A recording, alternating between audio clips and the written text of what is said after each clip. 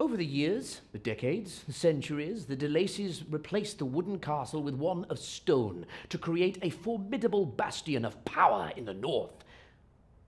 And the Angevin kings dare to take it, as if it was nothing, a, a playing piece for their ambition. My father, Roger de Lacy, had to pay Richard the Lionheart 3,000 marks just to be able to inherit his own land.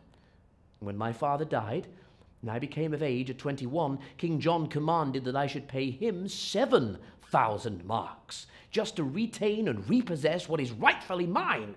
Can you imagine the insult? To pay a man that you despise simply for the honor of owning what is already yours? And I had no choice. I was a prisoner in King John's court, a hostage sent there to guarantee the loyalty of my father. And though my father was long dead, King John would not let me go until I agreed to put my seal to his terms. I was surrounded by his followers and his lackeys, and I was bullied into agreeing to what he wanted.